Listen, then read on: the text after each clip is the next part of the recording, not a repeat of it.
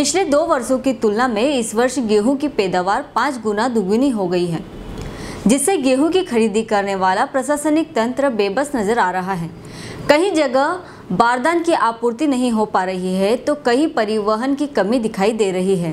गेहूँ की फ़सल तुलवाने आ रहे किसानों के लिए मंडी प्रशासन ने तो खाने पीने की व्यवस्था न की है और ना ही चुम्बालीस डिग्री टेम्परेचर के बावजूद भी टेंट की व्यवस्था की है। किसानों का कहना है कि किराए से गेहूँ की फ़सल तुलवाने ट्रैक्टर आयसर लेकर आए हैं। ट्रैक्टर के दो हज़ार रुपये प्रतिदिन है और आयसर का तीन हज़ार रुपये प्रतिदिन। ऐसे हालात में चार चार दिन किसान लाइन में खड़ा हुआ है। खरीदी प्रबंधक का कहना है कि परिवहन होगा तो जगह खाली होगी। बारदान की कमी है। कई क्विंटल गेहूँ खरीद चुके हैं। और वो खुले आसमान के नीचे खेतों में रखा हुआ है। अगर पानी आ गया है तो सरकार को बड़ा नुकसान होगा। एसडीएम प्रफुल्ल चंद्र सिन्हा का कहना है कि सभी विभागों के समन्वय हो गया है। जहाँ जहाँ भी जगह मिल रही है, गेहूँ को रखवाने की व्यवस्था की जा रही है। गेहूँ की पैदावार ज़्यादा हुई है। हमारे प्रशासनिक अधिकारी सतत लगे हुए हैं। देपालपुर से विशाल चांदना की रिपोर्ट। हम यहाँ सत्ताईस तारीख से आए हुए हैं। अभी तक हमारा कोई नहीं मतलब ट्रैक्टर भी तूले। हम लाइन में खड़े। बोले कि अभी तो सत्ताईस का ही तुला, बल्कि हमारा तुलना था। तीन चार दिन हो गए, परेशान हो रहे, चाय पानी, नाश्ता पानी, कुछ नहीं, रोटी पानी। सर यहाँ पे किसान बहुत सारे परेशान हो रहे हैं। और सरकार कुछ सुनवाई नहीं कर रही कि गेहूँ तोलेंगे, सबका तोले दाना दाना तो नहीं क्या, कैसे तोलेंगे? ऐसे हम किराए से गाड़ी लाए, आइसर लाए, बहुत सारी। उनका हज़ार, दो हज़ार रुपये रोज का किराया लग रहा है। और ट्रैक्टर आए, दो दो हज़ार रुपये में। और वो भी पाँच पाँच दिन हो गए आठ दस हज़ार तो एक एक ट्रैक्टर का हो गया। गाड़ी का हो गया मतलब तीन तीन हज़ार रुपये। तो जोड़ लो पाँच दिन का कितने बनेंगे उनके? पंद्रह हज़ार। तो ऐसे क्या ऐसे माल नहीं तोड़ेगा हम बहुत परेशान हो रहे हैं। सरकार से चाहते जल्दी जल्दी कुछ भी निराकरण हो। राजेश राठौड़ करकी। यही है कि हम सत्ताईस की रात से यहाँ पड़े हैं और मतलब एक चार चार पाँच पाँच गाड़ी हम लेके आए भर के। उनका रोज पड़ी हुई गाड़ी का एक एक हज़ार रुपये भाड़ा हमको देना पड़ रहा और तीन हज़ार में तो हम करके लाए तो आज चार दिन तो हम पाँच दिन हो गए जैसे। पाँच हज़ार तो वो तीन वो सात हज़ार रुपये में एक गाड़ी पड़ रही है हमारी। तो चार गाड़ी के कितने हो रहे हैं? तो इस हिसाब से हम इतने परेशान हो रहे हैं हमारा माल यहाँ ढूल जाए तो हमें कोई प्रॉब्लम नहीं। बस हमें यही चाहिए कि हमारी गाड़ी वहाँ फ्री हो जाए और घर चले जाए, कोई टेंशन नहीं। ट्रैक्टर का भी हमारे घर के है, किसान के हैं तो हम थोड़ा एडजस्टमेंट कर लेंगे।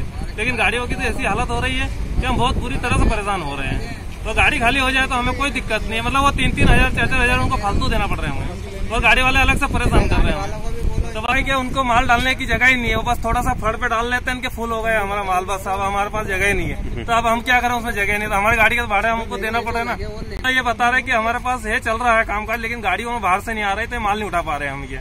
और माल उठाने की प्रॉब्लम आ रही है। हमें? कंचन सिंह कछावा गाँव कर की मैं चार दिन से खड़ा हूँ यहाँ पे लाइन में लगा हुआ हूँ। अभी कोई ट्रैक्टर ट्रैक्टर नहीं तुल रहे हमारे। परेशान हो रहा हूँ मैं यहाँ पे। ये समस्या है। और इसके बाद में हमारा पाँच पाँच पाँच सौ कुंटल के मैसेज आए। अब इतने वाहन कहाँ से लाए हम? कि वो सारे तोल दें दो दो ट्रैक्टर है हमारे पास। और अब पाँच सौ कुंटल क्यों कैसे तोले? दो ट्रैक्टर को चार चार दिन हो गए लाइन में लगे हुए। ये समस्या है साहब हमारे बलीराम मंडलोई। की खरीदी हुई थी या इसके पूर्व के वर्षों में जो खरीदी होती रही है गेहूँ की वो पिछली बार बत्तीस हज़ार मेट्रिक टन गेहूँ खरीदी गई थी, दो महीने की अवधि में। और इस बार हम लोगों ने एक महीने की अवधि में अभी तक लगभग डेढ़ लाख मीट्रिक टन गेहूँ की खरीदी कर ली है, जो औसत से या जो पिछले वर्ष की तुलना में यदि हम देखें तो पाँच गुना है। निश्चित रूप से जो व्यवस्थाएँ थी वो औसत से कहीं अधिक की की गई थी, लेकिन अनुमान से अधिक बम्पर पैदावार होने के कारण और जो किसान के जो रजिस्ट्रेशन हुए थे, पिछली बार तक किसान 50 परसेंट टर्न अप हो रहे थे। इस बार जो संख्या है वो काफ़ी ज़्यादा है, इनकी पैदावार भी ज़्यादा है और इसलिए व्यवस्थाओं में थोड़ी सी कमियाँ हुई हैं। जो डिपार्टमेंट्स हैं, इसमें इन्वॉल्व सभी के बीच में कोऑर्डिनेशन हो गया है और सभी जगह पे बारदाना भी पहुँचा दिए गए हैं। जो उठाव की समस्या है, जो ट्रांसपोर्टेशन की समस्या है चूँकि वेयर हाउस भी जो है, वो काफ़ी हद तक फुल हो गए हैं। इसीलिए बहुत सारी जगह ऐसी भी हम लोगों ने चिन्हित करके वहाँ पर खरीदी कराई है, जिनका या तो हमने अधिग्रहण किया है, या तो हम लोगों के सहयोग से, जो संस्थाएँ हैं, जो स्कूल बिल्डिंग्स हैं, या अदर इंस्टीट्यूशन हैं, उनकी जो बिल्डिंग्स है, उसको हम लोगों ने लिया है और उसमें तुलाई का कार्य करा रहे हैं। जहाँ तक लिमोदा पार का प्रश्न है, किसानों की संख्या ज़्यादा थी और छोटे कांटे पर तुलाई संभव नहीं हो पा रहा था इसलिए बड़े कांटे पर इन देपालपुर में उसकी तुलाई कराई जा रही है। दिक्कत कुछ समय के लिए हुई थी जिसके बाद थोड़ी देर के लिए पुलिस का इंटरवेंशन हुआ था और फिर एक किसी व्यक्ति ने कुछ दुर्व्यवहार करने का प्रयास किया था जिसके बाद पुलिस द्वारा कार्रवाई की गई और फिर स्मूथली वहाँ पर खरीदी का कार्य प्रारंभ हो गया। समस्या बड़ी गंभीर है।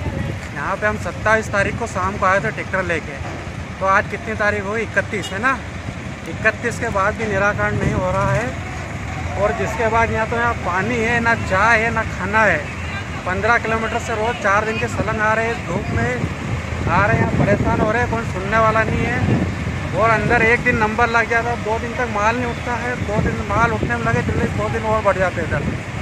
तो दो दिन ये और दो दिन और छः दिन पर जा, बात जाती है, जब जाकर ट्रैक्टर खाली होते हैं। और ट्रैक्टर खाली होने में इतनी मारा मारी है कि कोई कह रहा जगह नहीं है, कोई इधर से फंसा रहा है, कोई उधर से फंसा रहा है। जिसकी लाठी, उसी की भैंस का मामला चल गया है यहाँ पे नेपालपुर में। और एक कांटा है, मगजमारी हो रही है तारी के नज़दीक आ रही है। पानी ऊपर से रोज आ रहा है, पल्लियाँ ला रहे हैं, पल्ली ढाक रहे हैं। और रात को वापस पानी आ गया, फिर पंद्रह किलोमीटर दूर से आके पल्ली रखी है ट्रैक्टर पे। क्या नाम है? नीलेश बिस्सी। हेलो फ्रेंड्स आप देख रहे हैं हमारा channel S W twenty four news हमारे सारे वीडियो सबसे पहले देखने के लिए आप हमारे चैनल को सब्सक्राइब करें और पास में लगे बेल आइकन को दबाना बिल्कुल भी ना भूलें।